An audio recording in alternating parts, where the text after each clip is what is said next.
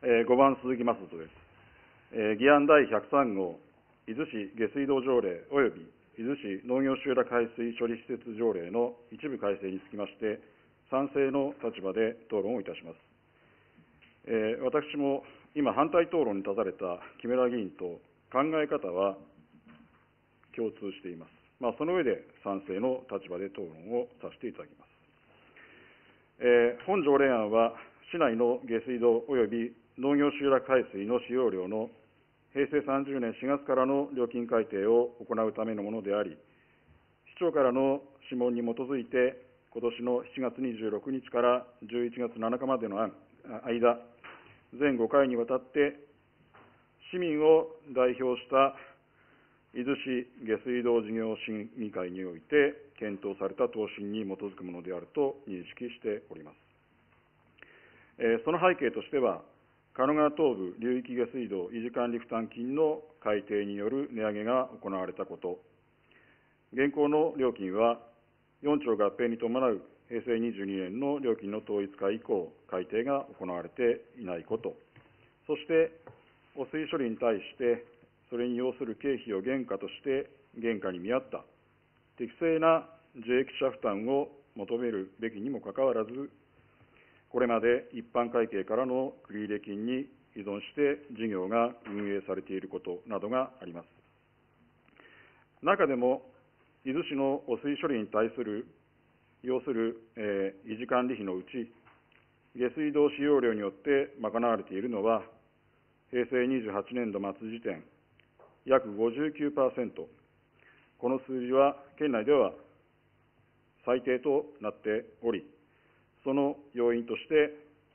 広域の流域下水道ポンプ施設のみならず、特定環境保全公共下水や農業集落排水など、伊豆市独自の処理施設を8カ所も抱えていることが事業の経営を圧迫しているところであります。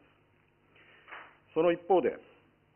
市内の下水道事業は生活環境の改善、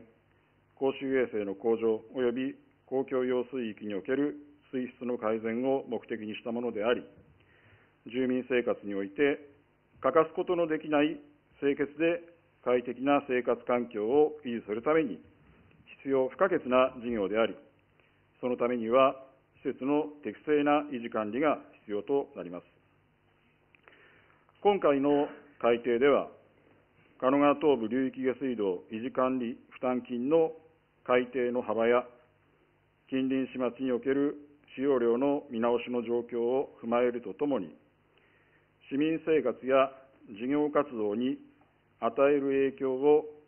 十分に考慮して、維持管理経費の約70%を賄うことのできる水準としており、繰り出し基準に基づかない一般会計からの繰入金の削減と合わせて、事業の経営の健全化が図られることになります。このことから私は、使用者である市民と、そうでない市民との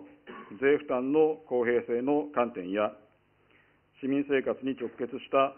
必要不可欠なこの事業を継続させるためには、現時点では必要であると判断いたします。しかしながら、公共下水利用者の市民にとりましては、公共料金の値上げであることには変わりがなく、唐突に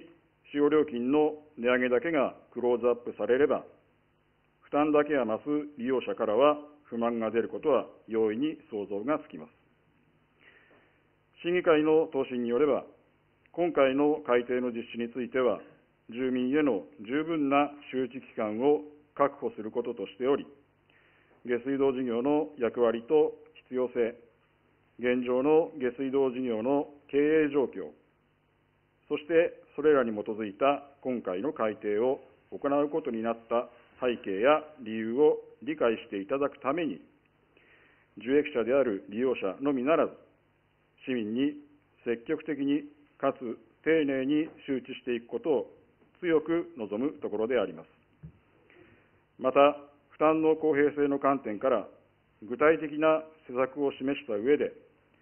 接続率接続率の向上を積極的に進めていくことと合わせ、今後の処理施設の統廃合を含めた効率化による